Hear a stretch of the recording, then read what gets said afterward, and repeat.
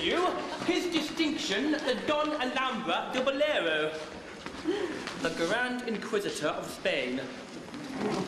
It was his distinction who so thoughtfully abstracted your infant husband and brought him here to Venice.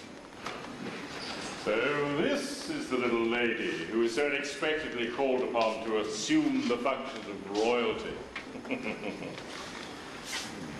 and a very nice little lady, too. jimp, isn't she? Oh, distinctly jimp.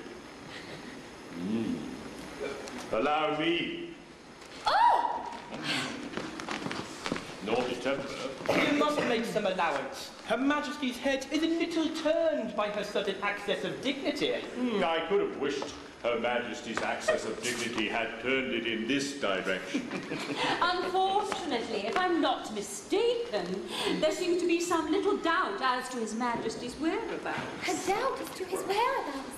Then we may yet be saved. A doubt? No, dear, no, no doubt at all. He is here in Venice, flying the modest but picturesque calling of a gondolier. I can give his address. I see him every day.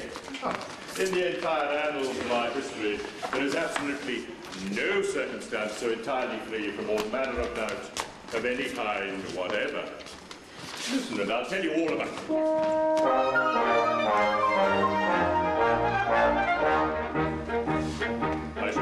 Prince and I brought him here and left him gaily prattling with a highly respectable gondolier who promised a royal babe to rear and teach him the trade of a ear with his own beloved bratling.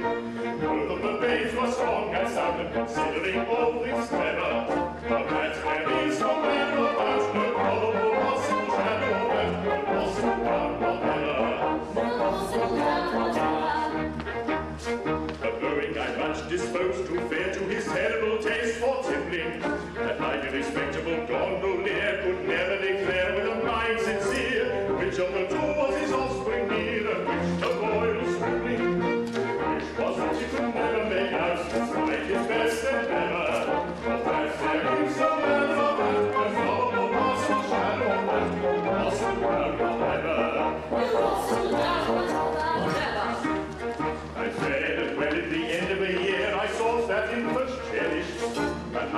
Respectable gondolier was lying of faults on his humble bier, I dropped a grand inquisitor's tear.